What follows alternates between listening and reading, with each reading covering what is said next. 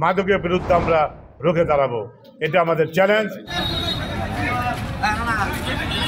আমাদের এই প্রকল্পটি সম্পূর্ণ হবার পর ময়মনসিংহের চেহারা অনেকটা ইনশাল্লাহ পাল্টে যাবে। যানজট মুক্ত করা এবং দুর্নীতি মুক্ত করা আমাদের নৈতিক দায়িত্ব। এখানে সকলেরই অংশগ্রহণের সুযোগ রয়েছে।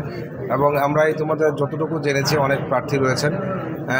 তবে আমাদের সম্মানিত আমাদের নাগরিক বা ভোটারবৃন্দ যারা রয়েছেন, তারাই আসলে সকল ক্ষমতার উৎস।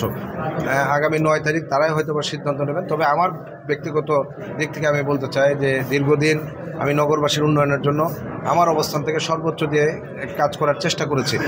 এবং আমরা দায়িত্ব নিয়ে আমাদের নগরটিকে পরিকল্পিত নগর হিসেবে গড়ে তোলার লক্ষ্যে আমরা বিভিন্ন ধরনের উদ্যোগ নিয়েছিলাম। সেখানে আমাদের পরামর্শক প্রতিষ্ঠান, বিশেষজ্ঞগণ সকলেরই সহযোগিতা আমরা সেই কাজগুলো আমরা প্রস্তুত করেছি। কিন্তু আমরা যেটি আমাদের বড় চ্যালেঞ্জগুলো আমরা পাড়ি দিয়ে এসেছি বৈশ্বিক দুইটি সংকট, একটি মহামারী করোনা আর একটি হলো ইউক্রেন যুদ্ধ অবস্থা।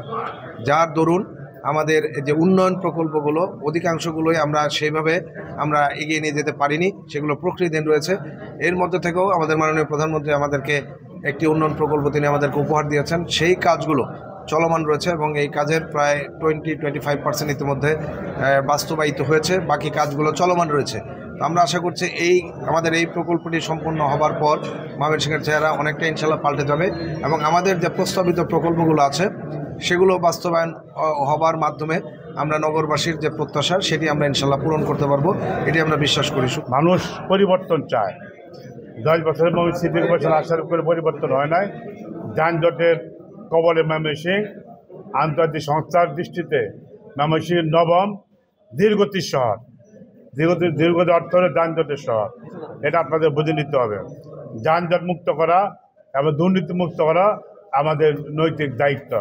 মাননীয় প্রধানমন্ত্রী ঘোষণা দিয়েছেন, অন্যায়, অত্যাচার জুট জুলুম, সন্ত্রাস, মাদক, ইপিজি, বাল্য বিবাহ, সন্ত্রাস এবং দুর্নীতির বিরুদ্ধে রুখে দাঁড়ানোর জন্য। আমরা ময়মনসিংহ সিটি কর্পোরেশন থেকে আমি তো নির্বাহিত হতে পারি দুর্নীতির বিরুদ্ধে জিরো টলারেন্স শতবার দুর্নীতি সিটি কর্পোরেশন হবে, যানজট মুক্ত হবে, মানুষ শান্তিতে বসবাস করে, কোনো স্বজনপ্রীতি দুর্নীতি এবং সেই সাথে আমাদের মাদকের বিরুদ্ধে আমরা রুখে দাঁড়াবো। এটা আমাদের চ্যালেঞ্জ এই চ্যালেঞ্জের মোকাবেলায় আমি নির্বাচনে দাঁড়িয়েছি।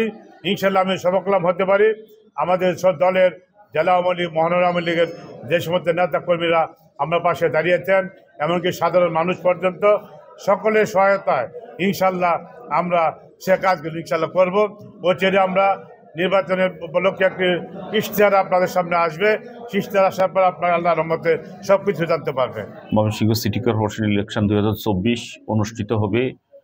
এই লক্ষ্যে আমরা নির্বাচন কমিশনের নির্দেশনা মোতাবেক আজকে মনোনয়ন দাখিলের শেষ দিনে আমরা মনোনয়ন গ্রহণ করব। ইতিমধ্যে আমরা নির্বাচনকে সুষ্ঠু এবং সুন্দররূপে সম্পন্ন করার জন্য যেমন আজকে অনেক প্রার্থী আসছেন তাদেরকে বলছি যে নির্বাচন কমিশনের নির্দেশনা মোতাবেক নির্মোহ, নির্মোহভাবে অনুষ্ঠিত হবে এবং ইভিএম মেশিনের যে ইলেকশন, এটা আমাদের আরও বেশি নিরপেক্ষভাবে অনুষ্ঠানের জন্য সহায়ক হবে। আমরা ইতিমধ্যে বিভাগীয় কমিশনার মহোদয়, তার সভাপতিত্বে ডিআইজি মহোদয় এবং সকল আইনশৃঙ্খলা বাহিনীর যে কর্তৃপক্ষ আছেন এবং অন্যান্য যারা সরকারি প্রতিষ্ঠান আছেন, সবাই সমন্বয়ে নির্বাচনকে সুষ্ঠু করার জন্য আমরা বিভিন্ন পদক্ষেপ গ্রহণ করেছি। আগামীকাল থেকে আমরা এই বিষয়ে আরও বেশি ইফেক্টিভলি মাঠে নামবো।